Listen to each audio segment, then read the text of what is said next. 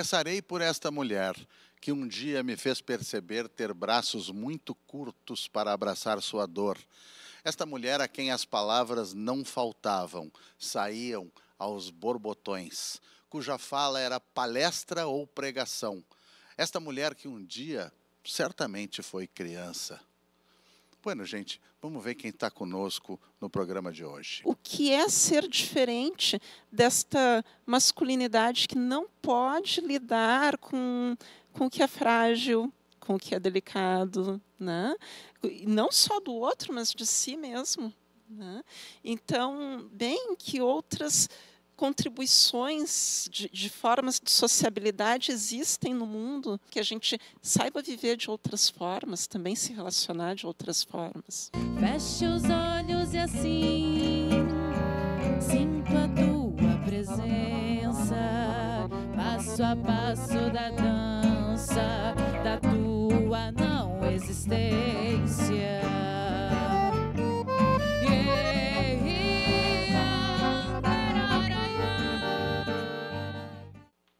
Está aí a psicanalista e escritora Tayasmin Onmart e a cantora e compositora Luana Maia. E a gente começou o programa de hoje com aquela mulher cuja fala saía aos borbotões, aquela mulher que, quando falava, era como pregação ou era como uma palestra. Essa mulher é gerada, será que é isso? Será que é o contrário? Será que é as duas coisas? Por esta que nos dá o prazer de estar aqui conosco na beira do fogo hoje, Tayasmin Marta. Muito obrigado. Oi, Demétrio. Eu que agradeço o convite. Um prazer estar aqui. É bastante forte, bastante provocativa essa ideia de uma fala aos borbotões e dessa fala que pode remeter a uma palestra, pode remeter a uma pregação. Isso está numa obra tua, está Yasmin, escritora em um primeiro momento, poeta, narrativa curta, contos, agora com o segundo romance, e este é um trecho do seu primeiro romance. Como é que é isso? Quem é essa, essa pessoa tão falante a quem faltam braços para abraçar? Então, essa é uma das personagens do meu livro Vozes de Retratos Íntimos, mas não é qualquer personagem, é a personagem inspirada, então, na minha mãe. Né? E, de fato, obviamente que a personagem não corresponde completamente à minha mãe, mas este é um traço que, de fato, minha mãe tem. Né? Minha mãe é uma pessoa extremamente expansiva, né? que, que fala muito e em sua maior na maior parte da vida dela muito envolvida com suas crenças religiosas. Então de fato às vezes parecem palestras às vezes pregação. Pois é no, no início do romance aparece. Deixa eu mostrar para o pessoal o romance esse primeiro romance depois a gente fala do segundo vozes de retratos íntimos. No início do romance aparece essa essa coisa da, da religião, né? da, da personagem, esta personagem escutando ensinamentos de alguém que lida com a religião, com a, com a religião afro-brasileira, com a religião afro-americana, mas também com alguém do mesmo lugar, uma vizinha do mesmo prédio, que tem outra vertente, que seria uma espírita, talvez um ponto de vista mais kardecista ou coisa assim. Essa associação porque a gente sabe, a gente lê as tuas entrevistas, ouve as tuas entrevistas desde o lançamento dos livros e vê que tu tem um passado com livros, com muita leitura, né? Uma coisa assim na tua casa, na tua família. E o falar se dava por esse lado religioso, se dava de que forma esse falar? Eu acho que, de uma certa forma, essa associação entre o, o livro e a oralidade sempre teve muito presente, né? porque hum, se contavam muitas histórias também. É, quando eu era criança, era uma época em que eu não era uma pessoa tão afeita à leitura, justamente porque minha mãe era. Né? Então, eu tinha muitos ciúmes da relação dela com os livros. Eu demorei para me conciliar com essa e entender que os livros poderiam ser meus também. Né? E então ela lia e ela me contava o que ela tinha lido. né? Ela me garantia, olha, livro não precisa ter figura, pode ser interessante só com letras. E para me mostrar isso, ela me contava as histórias. né? Ahn, mas ela era uma pessoa que ela era não ela é ela está viva né hoje em dia é uma mulher de 88 anos mas na época então ela era uma pessoa com muitos conflitos com a religião por ter sido criada na igreja católica e não estar satisfeita com, com a criação que teve né? e ela de fato tinha duas vizinhas uma era espírita Allan Kardec a outra era da Umbanda e as duas não se davam? então ela, mas ela tinha uma boa relação com as De duas. alguma maneira ela conciliava as duas falas ali, né? E satisfazia a curiosidade dela, né? É E, muito interessante. É, é, é, a voz já está no título desse romance, né? Vozes de retratos íntimos. E eu fiquei com uma coisa na cabeça, porque eu estou insistindo nessa questão da fala e da palavra, porque isso é muito perceptível no que tu escreves, mas também pela tua condição de psicanalista, né? E tem, eh, tem um- a nossa chamada, vamos dizer assim, a nosso, nosso comercial, que não é comercial, que é cultural, que estava circulando para a gente chamar esse programa de hoje, tem um trecho que diz: E entre o céu estrelado e o mar escuro, ser o elemento ínfimo, mas necessário. Isso é uma poesia tua. E eu fiquei pensando nesse ínfimo com o íntimo, porque o ínfimo também é pequeno, o íntimo também pode ser pequeno, né? pessoal, individual, subjetivo. E esse lugar do ínfimo me fez pensar nesses retratos íntimos. Eh, Quem é, quem é essa, essa, essa, esse elemento? Quem é essa, esse, sujeito que está ali ah, nessas narrativas tuas, desde a poesia, agora nos teus romances também? Quem é esse enorme, fundamental, mas pequeno, íntimo, um sujeito? é aquela que busca enlaçar palavras ãh, não ditas com a possibilidade de que elas possam ter expressão. né? É porque a gente carrega, todos nós, muitas coisas dentro da gente que ãh, precisam encontrar vias de, né? vias de serem transmissíveis, né? que nem a nossa conversa aqui, que nem eu estou procurando aqui, né? Então eu acho que essa minha relação eh, e que tu bem eh, pinça, né? Entre a intimidade e esse tão pouco, né? Isso que, que quem somos nós, né? Ah, nesse mundão, né? É, então fico procurando vias de que isso possa ser ah, enlaçado em algo que seja maior do que ah, algo que se esgote em mim mesma. E acho que essa é a ideia, não só desse poema que tu leu agora, como do, do aliás, acho que de tudo que eu escrevo. É sempre é, é um pouco é, não é legal, não é ideal a gente dizer um pedaço de um poema. O poema ele é inteiro, né? E foi um recurso que a gente usou para fazer essa essa alusão, enfim. E quando tu falas nesse sujeito, nesse íntimo que se conecta com, com tudo, né, ou com o tudo, tem uma coisa social muito forte no que tu escreves. Tem uma coisa que tem relação com a condição de gênero, com a condição étnica, com essa circunstância tão interessante no, no romance, já desde a capa dele, dessa coisa de etnias que convivem no mundo e em ti. Né? Uh, ali tem algo de militância, não sei se é uma palavra da qual tu gostes, que, que, que dá esse caminho do maior, né? a impressão que a gente tem. Sim, eu não tenho nada contra a palavra militância, eu acho que em alguns momentos, de fato, sou militante. Né? E eu, o que eu procuro é que a minha escrita tenha algo de literário também, né? não só de militante, mas não tenho nada contra que as duas posições possam estar aí em questão. É, eu é, sempre tive esse interesse em, em ter uma escrita posicionada. Antes de pensar no, no que é a importância da negritude para mim, porque isso foi um processo, nem sempre teve colocada da forma como está hoje, era a questão de gênero. E eu me lembro de um tempo em que eu escrevia contos em que a maior parte dos meus personagens principais eram homens. Mas tem um detalhe: eram homens muito inconformados e muito perdidos ante os novos posicionamentos da mulher. Né? Então, sempre teve alguma. é, Eram quase uma zombaria desses homens. Né? Então, sempre tive essa, um, um certo enlace político.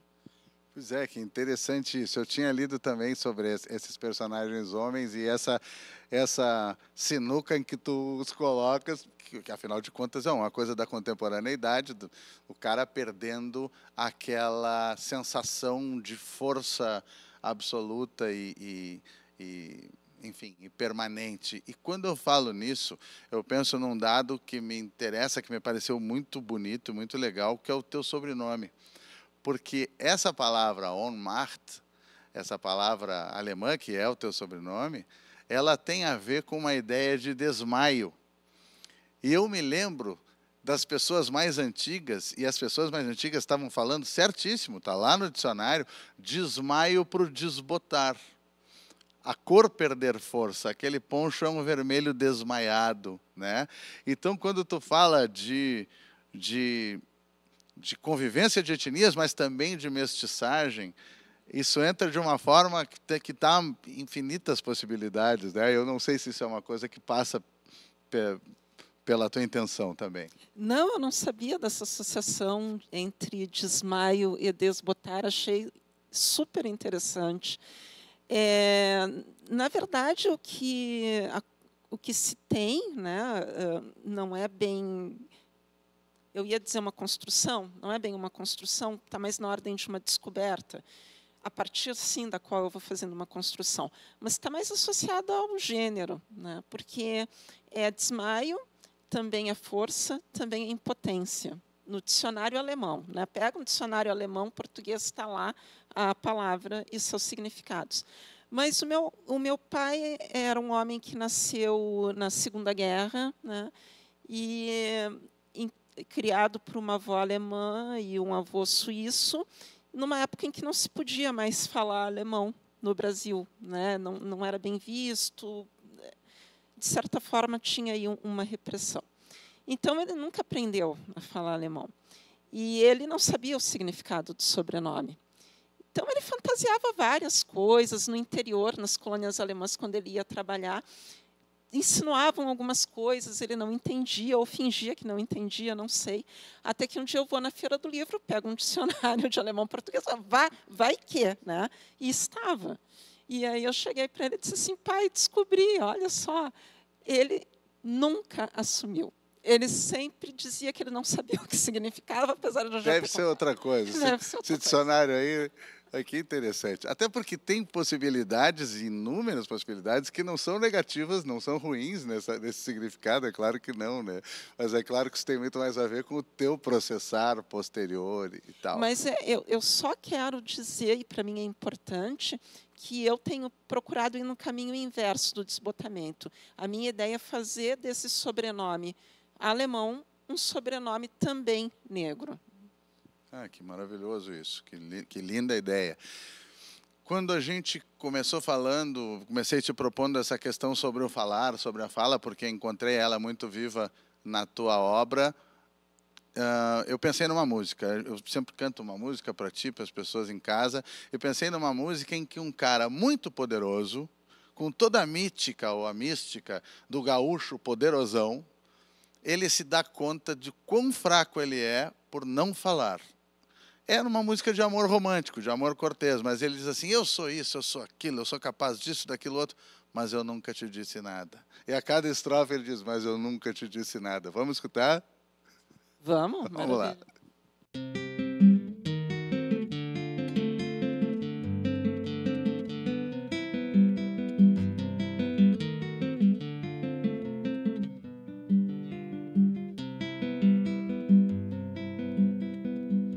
Un rosa color cielo, puesta de sol tu pollera, yo te vi así. a mi manera y fue mi mayor anhelo. El perfume de tu pelo y tu carita aniñada, el dulzor de tu mirada, la tristeza de tu llanto, pensar que te quise tanto y nunca te dije nada.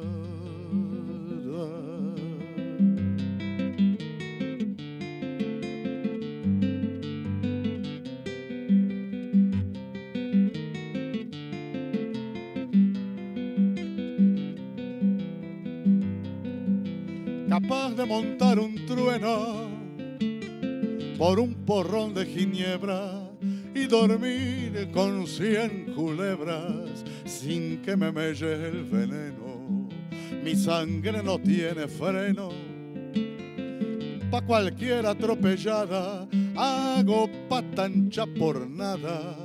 Al diablo más entrañudo yo que fui tan corajudo y nunca te dije nada.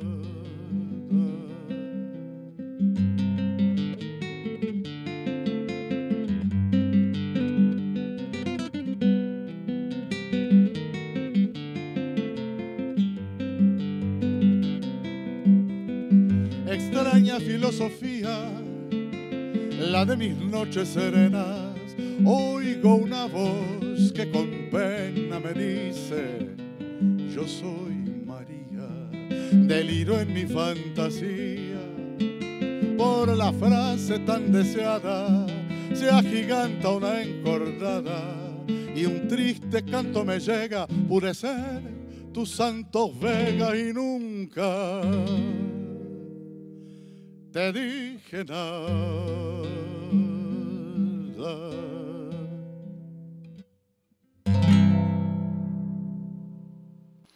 Já pensou que situação, né? Eu sou capaz de montar num trueno, num trovão, ou no pior cavalo.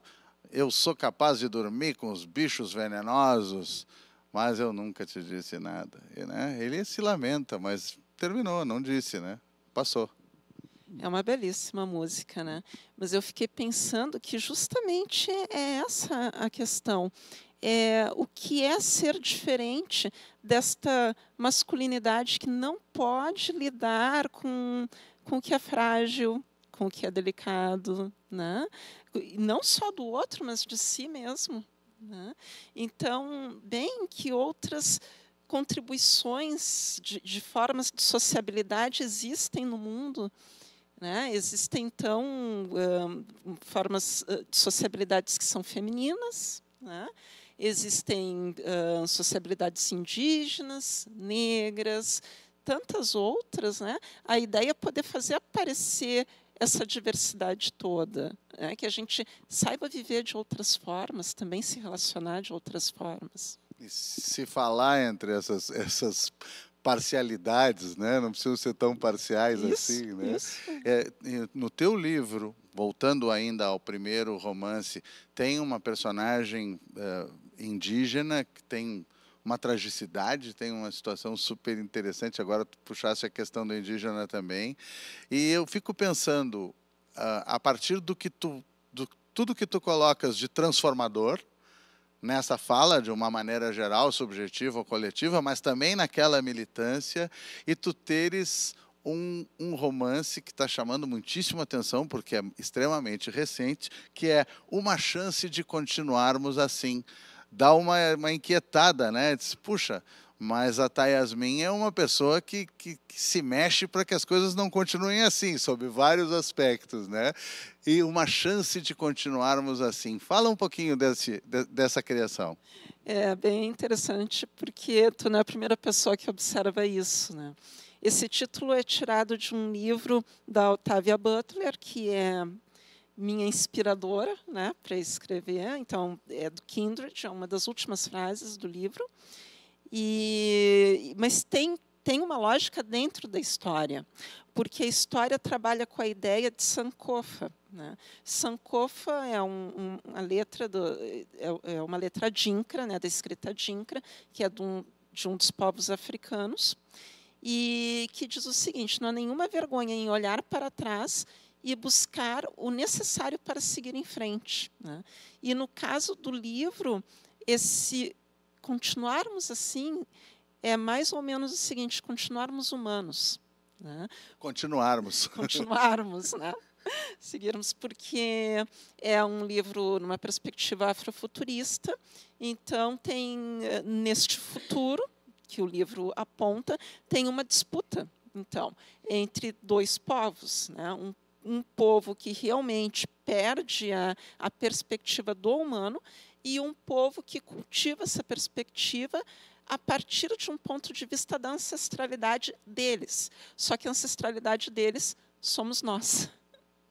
Isso é muito interessante, muito legal. E como toda a, a ficção com, com, essa, com essa característica desse, dessa, desse imaginário futurista, com algo, algo relacionado à ficção científica, tem uma, uma, uma atemporalidade. Né? É interessante em qualquer época.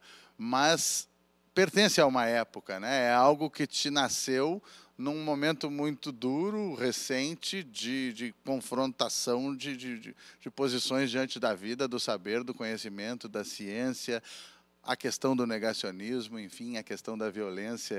Eu estou dizendo isso por ter visto em, em matérias, em entrevistas tuas, e chama muitíssima atenção o que tu o que tu plasmaste ali a partir daquele momento tão duro, tão difícil.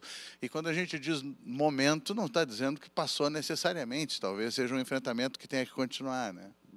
É assim, foi escrito, comecei a escrever ele na pandemia. Então, muito impactada, assim, com, justamente com o negacionismo da ciência, com as questões que nós já temos, por exemplo, a vacina. Né? Vacina é uma tradição no Brasil, né? e que, de repente, é questionada. Né? E também com uma certa, impactada com uma certa ideia que parece que, que, que volta a ganhar... Uh, espaço, né, que é da, do, do higienismo social. Né? Então, de uma ciência aí que, que, que apele para uma certa higienização do humano. Né? E, enfim, então, procurando e questionando o que é tecnologia. Será que tecnologia é só mesmo esse desenvolvimento científico ad infinitum que desconsidera estar a serviço justamente dos seres humanos? Né? Será que a gente não pode entender tecnologia também como formas de ser possível se relacionar com as diferenças? Então, essa é mais ou menos a discussão do, do livro. Tá aí. As falas, os falares da Tayasmin Onmacht na sua poesia, na sua prosa, na sua militância, na sua gentileza em vir aqui na beira do fogo nos oferecer tudo o que nos ofereceu. Muito obrigado. Imagina a gentileza tua. Muito obrigada, Demétrio. Foi muito bom. Bueno, gente, a gente vai para aquele momento de todas as semanas em que a gente faz um pequeno intervalo, mas também vamos, é claro, aproveitar a literatura da Tayasmin e cevar a palavra. Chama o gateadinho.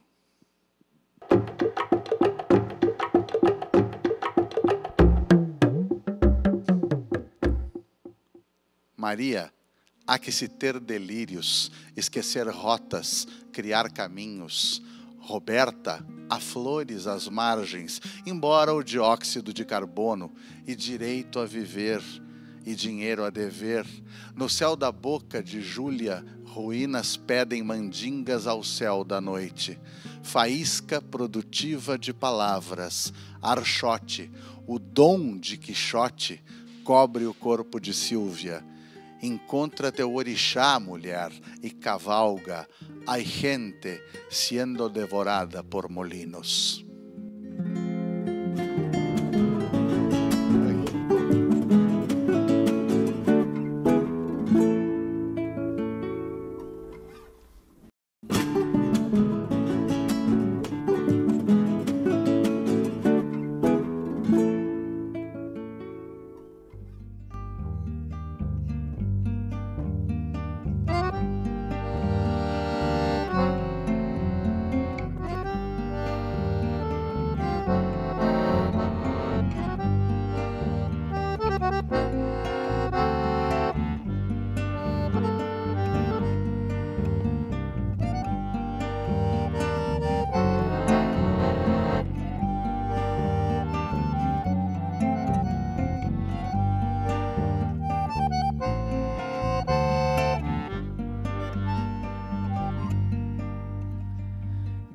Em silêncio nesse tiro e mais dor. Revoltas incessantes de tensão da ingratidão. Não mentes a verdade neste choro de viver. Nesta era que estamos a sofrer. Encontra no teu filho ponto de interrogação por não entender o partir do seu irmão, sua ânsia de poder se desbravar foi impedido pelo tiro da milícia.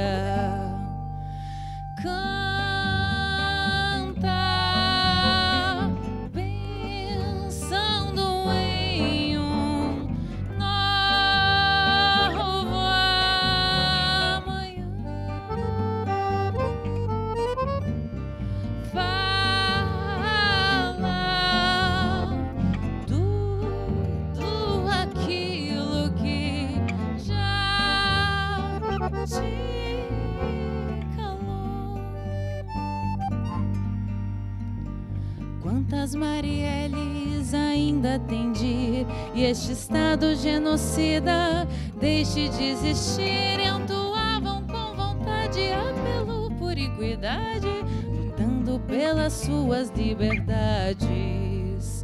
Cantam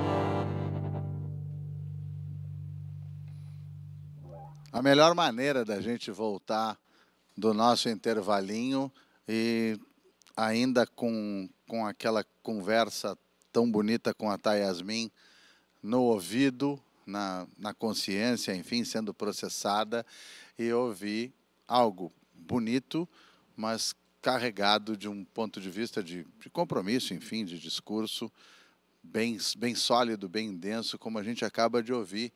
Luana Maia, muitíssimo obrigado Eu que agradeço.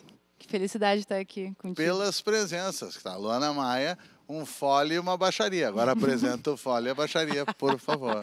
Então, aqui no meu lado, no acordeão Paulo Santos, gaita, acordeão, sanfona. e o Denner Gomes no baixo. Tá aí. Uma- um, um corte de banda, né? Porque tá- também trabalha com formação maior, também trabalha só com violão em cima da perna. Compositora. E aqui a gente com algo que, que é interessante. A gente está passando, o programa está tá entrando no país inteiro, né? O que é muito legal. Mas a gente aqui no Rio Grande do Sul escuta a sonoridade da milonga e já pensa em certas divisões da forma de fazer a letra e a melodia e já pensa em certas temáticas. Tá, é claro, os, os estilos musicais se prestam para o que a gente quiser. Mas existe uma forma mais usual aqui de lidar com, com uma sonoridade como a da milonga. E que não é a que tu usaste, né? Tu fizeste, para começar, um- uma, uma melodia, uma divisão que lembra uma coisa como um choro, como uma pegada da música brasileira mais antiga, né? A gente sente um ar de valsinha, não sei se vocês sentiram nesse tipo de frase, e ao mesmo tempo, sem dúvida, uma, uma, uma temática contemporânea, urbana, reivindicatória e tal. É assim que tu gosta de compor, tu tem essas vertentes todas, tu tem esse tradicional em ti também. Fala um pouco de como é que as coisas te nascem. Eu tenho essas vertentes, sim. Ah, principalmente, eu iniciei num, num meio que era muito envolvido com samba, que vem muito em relação ao meu pai. Né? Não tem como não falar dele, assim, da- dessa questão da ancestralidade. Meu pai é pernambucano e ele fez a sua passagem faz pouco tempo também, por sinal. eh, a gente tem feito uma homenagem já desde, desde então para ele. E que veio do Recife, então meu avô já tocava violão também lá. E ele seguiu essa, essa linha do, do instrumento do violão. E quando ele veio para o sul, ele criou esse, essa, ele começou a tocar samba. Então, eu nasci no meio das rodas de samba, né? E só que ao mesmo tempo, né, além dessa linguagem do choro e do samba, a minha mãe ela ela é um pouco mais nova em relação a ele, então ela já pegou essa época dos anos 70, assim, então que tinha um rock, né, uh, mais uh, progressivo um pouco também, né? E ela é daqui? É, ela é daqui do Rio Grande do Sul, Santa Santa Rosa. E com essa junção, né, de, de nascer nesse meio, eu comecei a absorver vários estilos, né, vários gêneros musical percorrendo assim os territórios, né.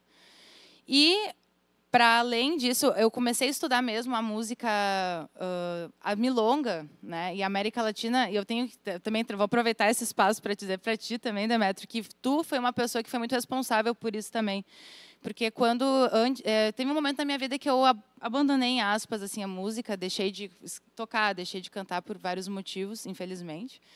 E quando eu comecei a retomar, na época eu estava fazendo biologia na, na faculdade, na URGS, e fazia, trabalhava com Paulo Braque, por sinal. E nesse meio eu comecei a me envolver com as músicas da terra, porque eu já trabalhava, estava trabalhando com as comunidades indígenas, quilombolas, e, e, isso me começou a me remeter ao estudo da a música da terra. E daí começou a vir a milonga, começou a vir o zamba, a chacareira e os, os cantos do sul da terra foi, foi muito presente nesse sentido para estudar, né, essa linguagem da de, desse tipo de música. Né? Então acabou que eu comecei a formar um amplo, um, vários gêneros musicais, vários ritmos, né? Conforme eu fui percorrendo os territórios, comecei a viajar também bastante, fui para Argentina, também fui para Bahia, para o Nordeste, e isso foi complementando. Então é, várias músicas minhas, elas têm, elas têm um, uma linguagem, mas ela não remete a só um gênero. Quando vê, a gente tem um tango, mas que vai estar tá junto, vai estar tá um, um pouco de rock, talvez, né?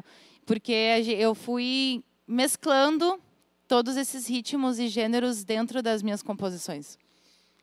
O que a gente quer, o que a gente procura quando trabalha com cultura, mas de uma maneira muito específica com, com a comunicação, né? Com, como comunicador, num, num projeto ligado à cultura, como é o projeto desta casa aqui, é exatamente isso, que a gente constitua um acervo, que as pessoas possam ir buscar no nosso trabalho as, as coisas necessárias para elas fazerem o seu discurso, utilizarem da forma que bem entenderem. Aquela coisa do velho Jupanque que está aqui no peito hoje, né?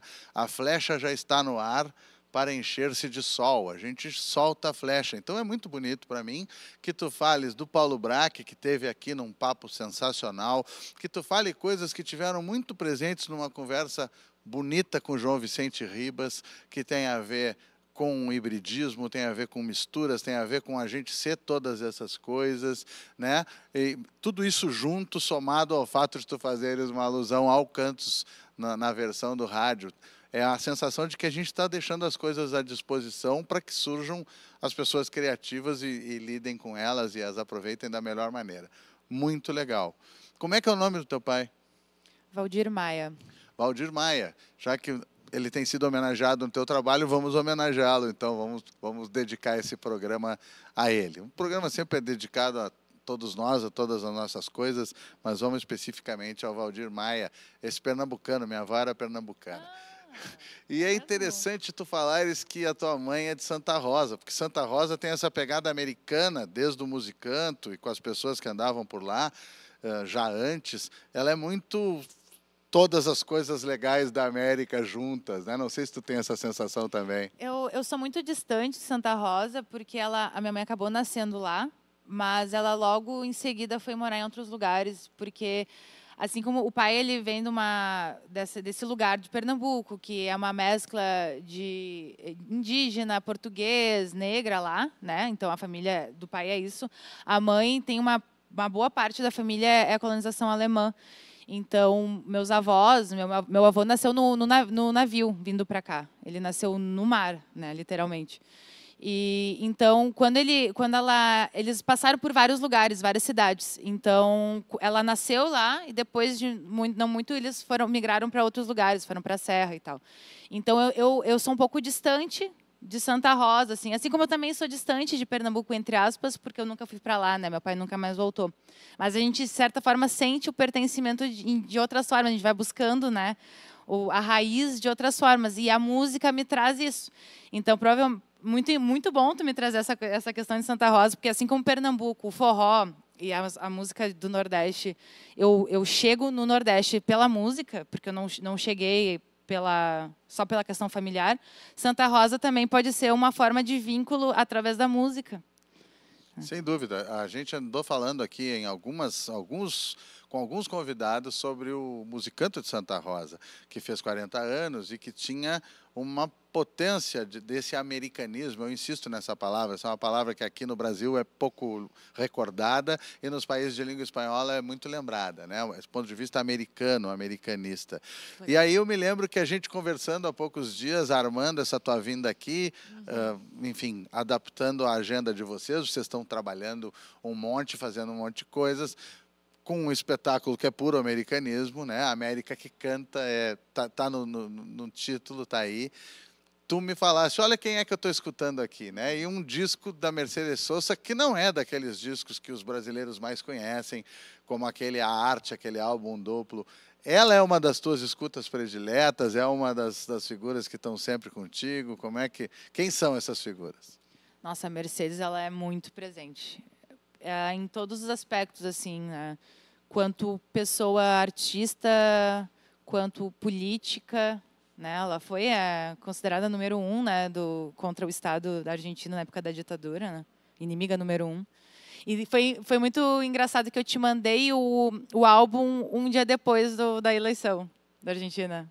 Né? Eu nem tinha me ligado que eu te mandei nesse, exatamente nesse dia. Naquele que, drama, né? Naquele drama, exatamente. Então, querendo ou não, as minhas músicas, as minhas composições, elas envolvem muita política. Tanto que essa milonga ela foi feita na época da pandemia, no nosso estado, que a gente estava vivendo de caos político, né? E, e entrando numa pandemia. Quando eu escrevi, a gente ainda estava estava chegando. A gente, não, a gente não ia imaginar que foi, seria um tanto tempo. Né? Na minha, ninguém imaginava, eu também não imaginava. Nem tantas vítimas, nem Tantas tanto vítimas, enfrentamento. Tanto né? genocídio, né? Mas eu já tinha escrito ela porque já tinha acontecido a questão da Marielle e também a questão do, do próprio governo. Então a Mercedes ela é essa figura para mim porque ela é uma mulher, né, que se apropria desse desse espaço de quanto uma mulher que é uma ativista, uma artista, uma cantora de resistência, de luta, que fala do território, ela fala da terra também, ela fala a potência da voz dela é muito forte. Ela era, ela como pessoa, ela era uma pessoa muito intensa, né? Então, o timbre dela é algo que que me vem muito. E ela é um hábito meu que eu tenho de escutar Mercedes de manhã. Quando eu, eu muitas vezes a gente não tem como aproveitar a manhã, né? O espaço da manhã quando a gente está numa correria de vida.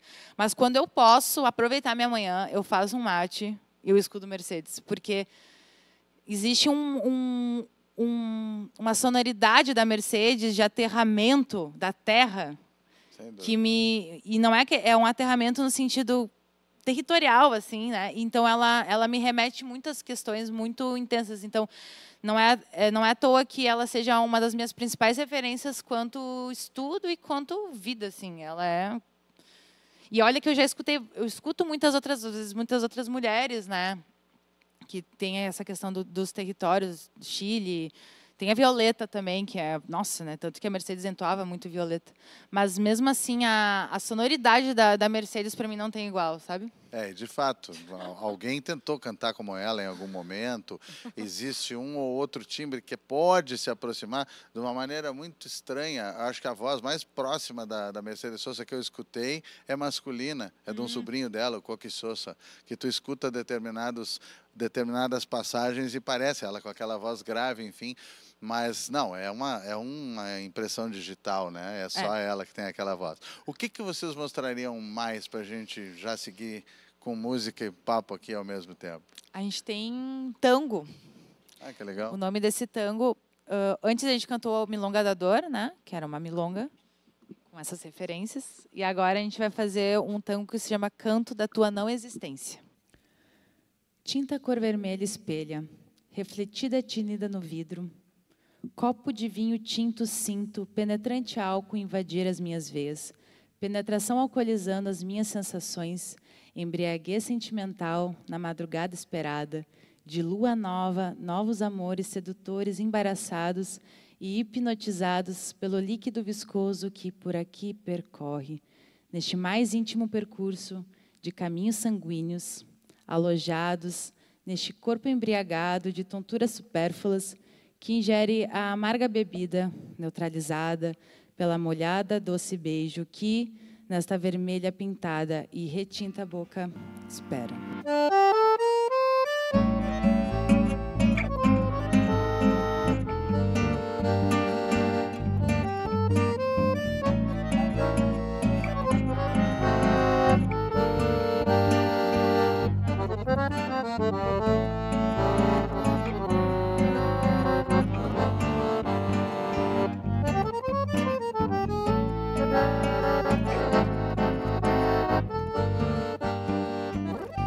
Neste tango que te faço é só mais uma canção que embala uma noite de solidão. Neste breve compasso de ritmada emoção, só procuro nos passos alguma razão nesta dança vazia no solitário salão. E no movimento então deixo o meu corpo a rodar. Minha mão se apoia no vazio do teu não está. Cambaleio com o ritmo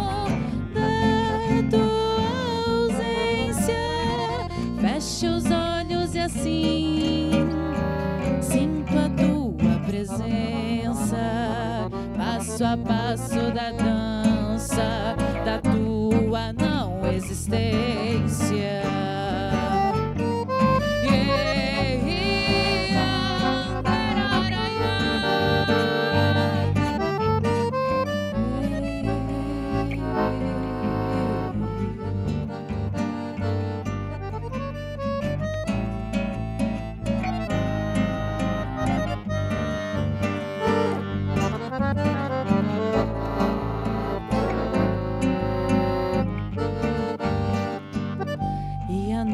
Noite adentro, vinho tinto vestido, já tanto molhado, de suor reprimido,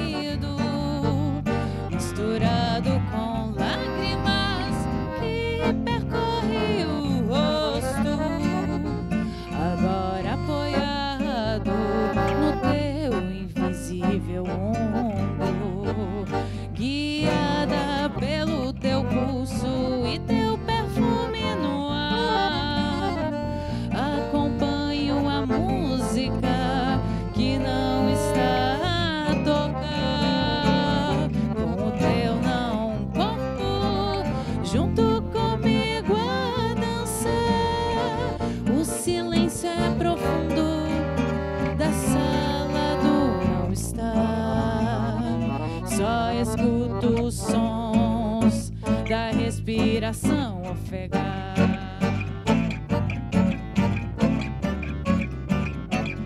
Fecho os olhos e assim sinto a tua presença.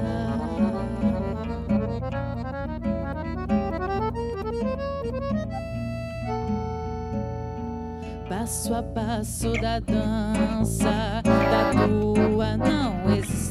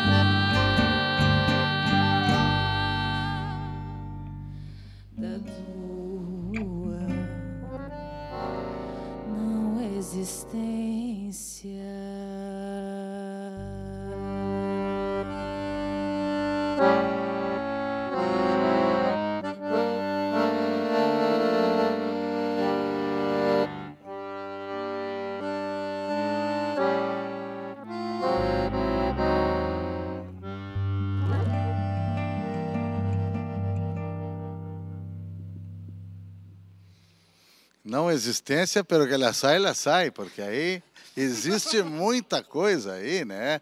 Existe referência aos montes. Essa, esse acordeon, essa botoneira, será que eu estaria certo de chamar popularmente dela, ela de botoneira por não ter teclado? E ela quer passar o, Com certeza. o micro ali, e ela abraçando a função de bandônio, né? Do, do bandoneon, de uma maneira bem legal, com esse fraseado.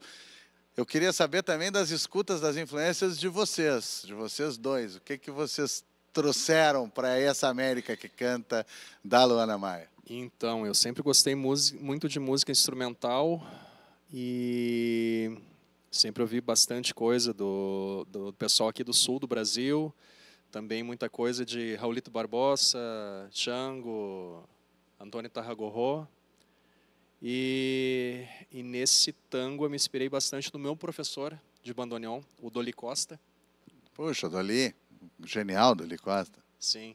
E inclusive eu faço parte dos posteiros, né? Eu tô, tô de sub do, do Os Doli. posteiros de nova geração. É, da nova geração, exatamente. Eu, Miguel, o Sim, Celcinho. mas não dá para da- abandonar o posto. O Não, posto não tem dá. que ter posteiro. Posteiro é aquele cara que cuida a estância, a estância é uma fazenda grande, um enorme latifúndio tradicional, e lá na ponta tem um cara que mora lá para cuidar e para tratar, enfim, de tudo que tem a ver com a estância, mas lá naquela distância, que está longe da sede da estância. Assim se criou essa cul- cultura dos postos e dos posteiros. E tem um grande, importantíssimo grupo tradicional e antigo que se chama os posteiros, ele faz parte como geração nova de posteiros. Exatamente. Então, muito disso, dessa linguagem do bandoneon, né, que era trazido no, no som deles, eu procurei incorporar e agora, sendo aluno e amigo do, do Doli, de todos eles, né, é uma alegria, assim, poder aprender muito, ouvir muito, ah, muito Piazzolla também, e é isso. Que ótimo, que ótimo. E o baixista, com essa responsa toda, porque é o cara que está com harmonia, com ritmo, né? Eu, eu me lembro daquela história dos os, os grandes mestres dizendo: escuta o baixo, vai pelo baixo na hora que tu vai cantar. Então, Pô, não dá para deixar cair essa peteca aí. É né? verdade, né? É uma responsabilidade tanto segurar aqui, né? Os baixos, né? Tantos harmônicos que vêm aqui da- dessas cordas, né? É... Bom, mas falando um pouco das minhas influências, né? eh, eu também escutei muito samba, né? du- durante a minha formação, assim, né? Minha família sempre me mostrou muito essa parte da, da nossa música brasileira, assim, mas minha mãe também trouxe muito a influência do Nordeste, né?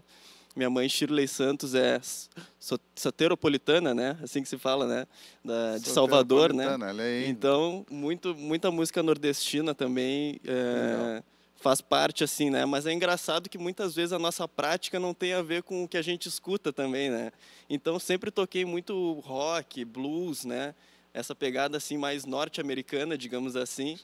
Então, esse projeto também tem sido um grande estudo, assim, né? Para eu me Te aprofundar, assim, aproximando de outras é, coisas. me aproximando de outras coisas que estão mais próximas da gente, mas muitas vezes a gente não tem tanto contato. E né? esse patrimônio que tu já tem todo, ele tá ali, né? Vai ser a tua forma de ouvir música, de fazer música, sempre vai passar por ali. Muito legal. Exatamente. Luana, só para atrapalhar a Luana, e volta correndo o microfone, estão compartilhando o micro ali. Me fala do América que Canta, a gente está chegando ao fim do nosso papo, só para as pessoas terem uma ideia desse projetaço aí. Então, o América que canta é, nada mais é do que essa. Para além né, das minhas composições, de trazer todo essa, esse aspecto, é percorrer os territórios. Que a gente até entra naquela questão do, da discussão do, do música brasileira e latino-americana, lembra? Sim, claro. que eu acho que é legal, muito legal de trazer. Ah, quando eu tava, eu tenho um projeto com o Paulo, que é o projeto Americantas, que foi por causa disso também que veio o nome América que canta. Ah, a gente usa mais uma questão até mercadológica, né? Porque as pessoas não se reconhecem como latino-americanas. Elas se- Às vezes, ah, se reconhece como brasileira, mas não latino-americana. E a gente, na verdade, é o, a Latino-América, né? Então, é, esse é o projeto. É, co- conforme eu vou escrevendo, compondo, eu vou percorrendo o- os territórios com os diferentes gêneros musicais. Então, para esse lançamento, né, do- de toda essa, essa trajetória que eu tenho feito como compositora, é trazer o tango, é trazer o samba, é trazer o forró, é para trazer a milonga, o zamba, né, que é- a gente tem, também tem um samba, zamba, né? Ah, tem também rock, né? Que é tudo isso que percorre esse todo esse território. E eu não vou conseguir abordar tudo, obviamente, numa vida talvez, mas o que eu puder conseguir conseguir colocar dentro dessas composições é, é esse é o projeto, a América que canta e é entoando, é, falando sobre né, amores, vida, luta, resistência terra. Perfeito, perfeito, porque o continente é tudo isso, é todos é tudo esses isso. temas, todas essas sonoridades, e a gente não tem nenhuma razão para deixar alguma dessas coisas para trás. São coisas belas, são coisas que nos constituem. Luana Maia e Big Band, muitíssimo obrigado. A gente vai ficar por aqui, claro que vai ficar escutando o som da Luana e vocês sabem, nós nos estamos vendo. Até a próxima lua com o Cantos do Sul da Terra. Muito obrigada, Demetrio.